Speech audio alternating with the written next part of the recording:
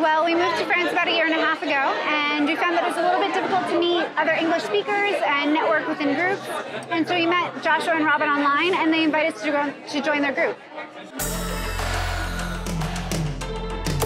Well, so far everyone's been really welcoming uh, and warm and just honestly a lot of fun. It's not just straight business, it's a little bit of fun mixes business and networking, and it's been really good.